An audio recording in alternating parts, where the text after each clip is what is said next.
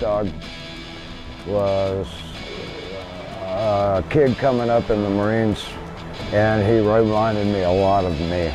He was a lot bigger than I am. He was uh, a, a prime physical specimen and exactly what we needed for the program for Spartan.